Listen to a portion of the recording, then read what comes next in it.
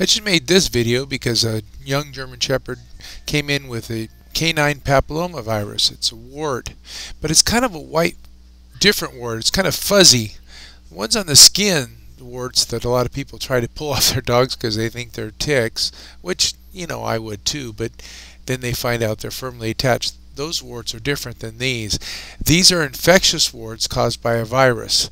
Those other warts on the skin are warts that just grow because the dog gets a little older, especially in poodles. They have a lot of warts that grow on their skin. Um, human uh, canine papillomavirus aren't transmissible to humans, but they are transmissible to other dogs. Dogs can get these warts um, from contact and they can take a few months to develop and they can take a few months to go away. There is some reports that a drug called azithromycin is good. We, we have that in veterinary hospitals. Use that uh, for two weeks, and it, so sometimes make the wart, the canine papillomavirus wart go away.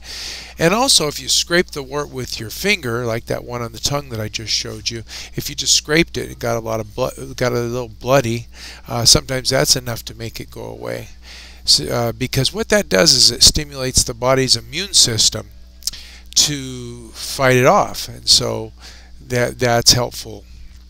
If you have a dog with this problem young dog they can transmit it to other dogs but usually it's dogs with a compromised immune system older dogs uh, dogs that have a, a, chronic disease or young dogs that'll catch it. Um, so that's the story on the canine papillomavirus. I just thought you might find that interesting.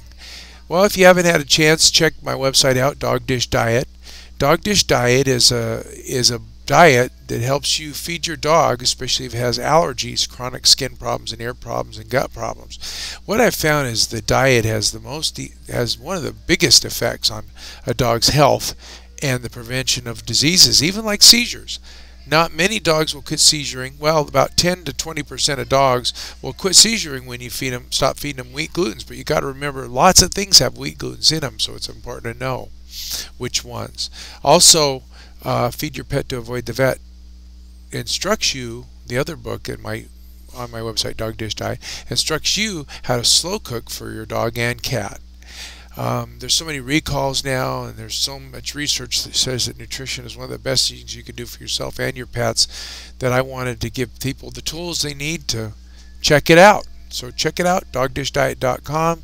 You can get Dog Dish Diet and Feed Your Pet to Avoid the Vet. There's links for both. Have a great day.